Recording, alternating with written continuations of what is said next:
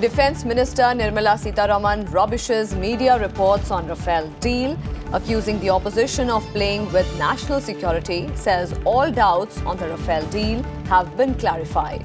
Congress reiterates demand of JPC probe into the deal.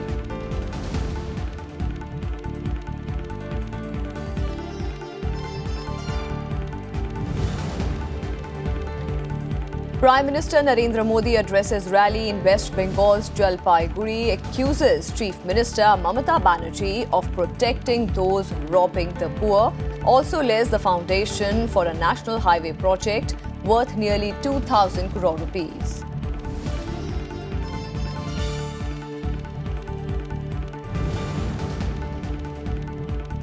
Government will bring in an ordinance or bill if its review petition on reservation roster is not accepted.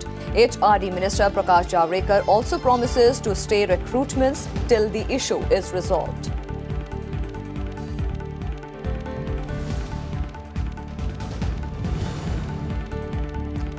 Ladakh becomes third administrative and revenue division of Jammu and Kashmir, move to benefit people of the region as it will fulfill their governance and development aspirations.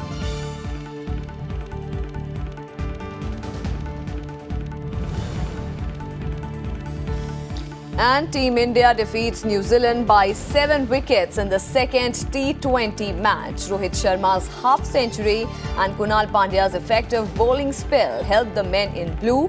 Sharma also becomes the highest scorer in the T20 matches.